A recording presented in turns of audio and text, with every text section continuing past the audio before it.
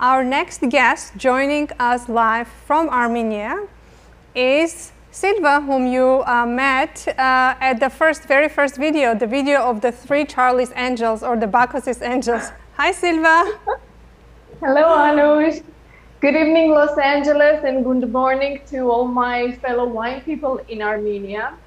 Good morning, Silva jan.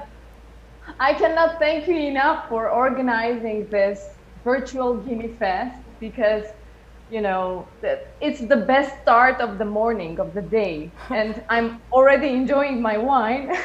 Absolutely. Silva, tell us what you do um, and uh, tell uh, about Rikar's Wines. Yeah, so Rikar's Wines uh, is a um, recent project in Armenia. It was established in 2017 by two very close friends, Armenian and Italian. So the story of Rikar's wine um, is, uh, you know, it started when two wine lovers, wine enthusiasts, and wine professionals got together and decided to start, start this project in Armenia because our Italian co-founder Riccardo Gagliardi and his winemaker Federico Renzi, they have more than 30 years of uh, experience in winemaking and wine business. So they joined their friend Arsen Zadoyan in Armenia, and together they decided to establish Rikar's wine and to promote the Armenian indigenous grape varieties and the Armenian traditional winemaking methods, combining them with some Tuscan traditions. Uh, before we go in, uh, in a little bit more detail about where the winery is located, where you get the grapes, why don't you share with us what you do for Rikar's? I do uh, winemaking. So as I mentioned, we have uh, Federico Renzi, who is the chief winemaker and consultant of Rikar's Wine, as well as the co-founder. Um, so I'm doing the winemaking here, like I'm the Armenian-based winemaker, and Federico is our chief consultant. That is so and amazing. I'm so proud. I'm so excited to see such a young uh, winemaker, but not only also being a female, I think that uh, deserves a big cheers. That's amazing. Cheers. so now share us with us about your winemaking techniques because I know you stay truly to the um, authentic Armenian traditions and the culture and everything is incorporated.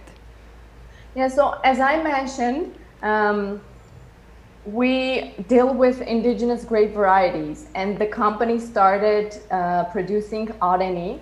So uh, what we have now in the market, the 2017 vintage, which you can see over here, um, and I'm holding here the bottle of Arag. These are our Areni. So we have um, two red dry wines produced differently. So David, that you have, Anushjan, um, it is uh, made of 100% Areni grape variety growing in Vayots Dzor uh, region in Ahavnadzor village, high altitude vineyards. So um, for David, we, we ferment the grapes in concrete tanks, which is a part of the Tuscan, um, you know, tradition. And then we age the wine about eight months in Artsakh oak barrels. Um, as to Arag, we ferment um, the same Areni grape from the same vineyards. We ferment them in karases, the Armenian clay pots, right? And we age them in concrete tanks. So after the fermentation, the wine rests a little bit in the concrete tank and then we bottle. And um, the point is that we have, you know, the, the grapes are from the same um, vineyards, but they taste so differently due to the different winemaking techniques. Uh, Silva, why did you decide to, and why did uh, um, the, the, the winemakers or the company decide to make the wine in karas because it could be so challenging and it could be also risky. It's not the easiest way to go. You know, it's easier to ferment right. in the stainless steel and age it just in a barrel but going into an extra length of bringing another part of the history and the culture is a little risky. So what was the... Yeah. I would mention that not only Karas, but also concrete tank is a little bit hard to deal with.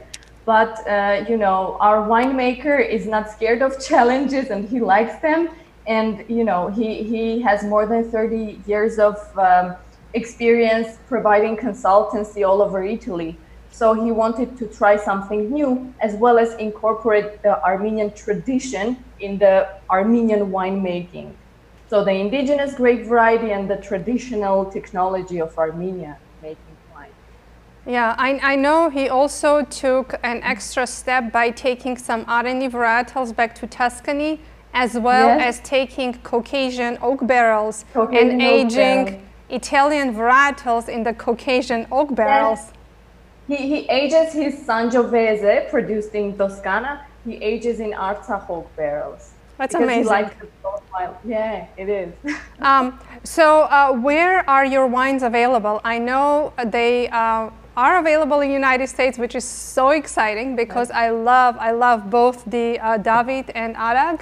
Uh, I mean, I've said that the whole night. I love all the wines. So, so how, how, how can our viewers purchase them? Okay, so uh, the wines are available on the East Coast.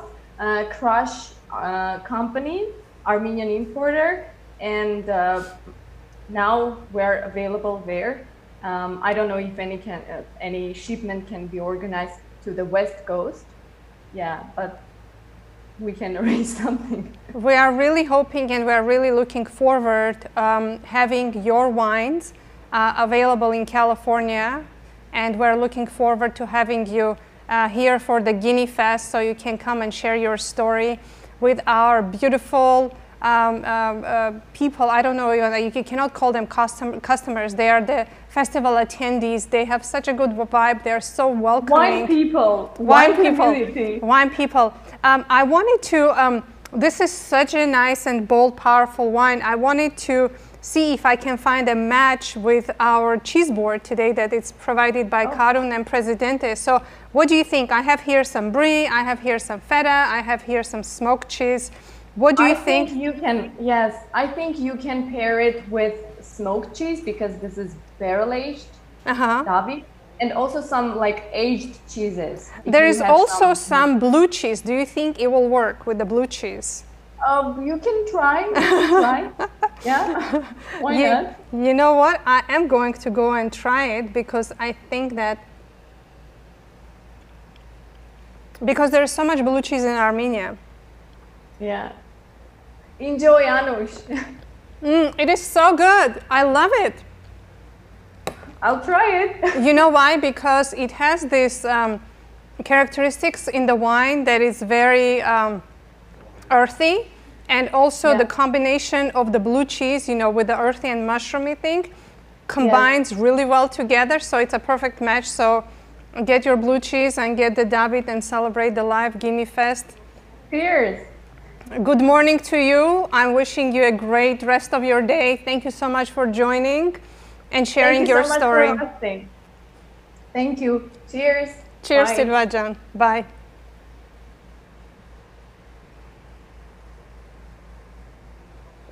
Cheers. This is so good.